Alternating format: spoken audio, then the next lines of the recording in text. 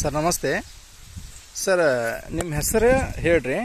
ಆಮೇಲೆ ನಾವು ಯಾವಾಗ ಬಂದಿದ್ವಿ, ನಿಮಗೆ ಏನು ಕೊಟ್ಟಿವಿ ಎದಕ್ಕೆ ಕೊಟ್ಟಿವಿ ಅದನ್ನ ನೀವು ಏನು ಉಪಯೋಗ ಮಾಡಿರಿ?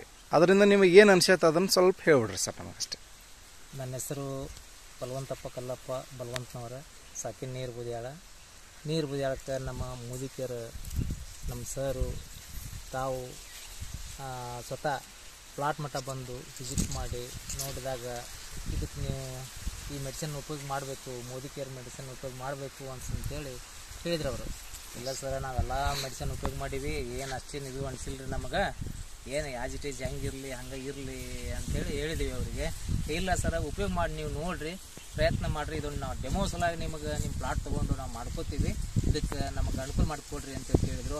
ಆಯಿತು ಅಂತೇಳಿ ನಾವು ಒಪ್ಕೊಂಡಿವಿ. ಒಪ್ಕೊಂಡ ನಂತರ ಅವರು ನಮಗೆ ಡೆಮೋ ಕೊಟ್ಟರು ಡೆಮೋ ಕೊಡೋ ಅಂತಲೇ ನಾವು ಅದನ್ನು ಸ್ಪ್ರೇ ಮಾಡಿದ್ದೀವಿ ಮೊದಲ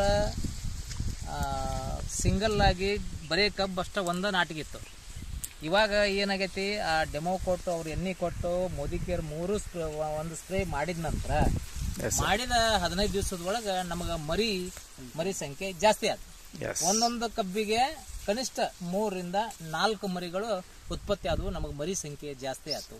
ಆ ನಂತರ ಹದಿನೈದು ದಿವಸ ಬಿಟ್ಟ ಮತ್ತೆ ಮ್ಯಾಗ ಒಂದು ಸ್ಪ್ರೇ ಮಾಡಂತ ಹೇಳಿದ್ರು. ಆ ನಂತರ ಆ ಸ್ಪ್ರೇನು ನಾವು ಉಪಯೋಗ ಮಾಡಿದ್ವಿ. ಅದನ್ನ ಉಪಯೋಗ ಮಾಡಿದ್ರಿಂದ ಪೂರ್ತಿ ನಮಗೆಲ್ಲ ಕಬ್ಬು ಹಚ್ಚ ಹಸಿರು ತುಂಬೈತಿ. ಹಸಿರಿನಿಂದ ಕೂಡೈತಿ. ಅದಕ್ಕೆ ಮೋದಿ ಕೇರ್ ಉಪಯೋಗ ಮಾಡೋದ್ರಿಂದ ಭೂಮಿಗೆ ಫಲವತ್ತತೆ ಜಾಸ್ತಿ ಆಗತಿ ಆರ್ಗ್ಯಾನಿಕ್ ಯಾವಾಗಲೂ ಉಪಯೋಗ ಮಾಡ್ಕೋಬೇಕು. ಫರ್ಟಿಲೈಸರ್ನ ಕಡಿಮೆ ಮಾಡಬೇಕು. ಅವರು ಫರ್ಟಿಲೈಸರ್ ಕಡಿಮೆ ಮಾಡಿರಿ ಆರ್ಗ್ಯಾನಿಕ್ ಉಪಯೋಗ ಮಾಡ್ಕೋರಿ ಅಂತೇಳಿ ನಮಗೂ ತಿಳಿಸಿ ಹೇಳಿದ್ರು. ಅದರ ಪ್ರಕಾರ ನಾವು ಮಾಡ್ಕೋತ ಹೋಗ್ತೀವಿ.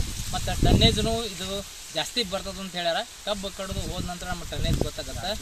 ಇವಾಗ ಈ ಸದ್ಯ ಅವರು ಕೊಟ್ಟದ್ದು, ಅವರು ಏನು ಹೇಳಿದ್ರು ಅದನ್ನ ನಾವು ಸ್ಪ್ರೇ ಮಾಡಿವಿ. ಆ ಸ್ಪ್ರೇ ಮಾಡಿದ ಮಾಡಿದ ಹದಿನೈದು ದಿವಸಕ್ಕೆ ನಮಗೆ ಅದರದ್ದು ರಿಸಲ್ಟ್ ಗೊತ್ತಾಗೈತಿ. ಏನು ಗೊತ್ತಾಗೈತಿಪ್ಪ ಅಂತಂದ್ರೆ ಬರೀ ನಮ್ಮ ಸಿಂಗಲ್ ಒಂದು ಕಬ್ಬಿತ್ತು ಆ ಕಬ್ಬಿಗೆ ಮೂರಿಂದ ನಾಲ್ಕು ಮರಿ ಬಂದವು. ಮತ್ತು ಕಬ್ಬು ಹಸಿರಾಗಿ ಉಳ್ಕೊಂಡೈತಿ.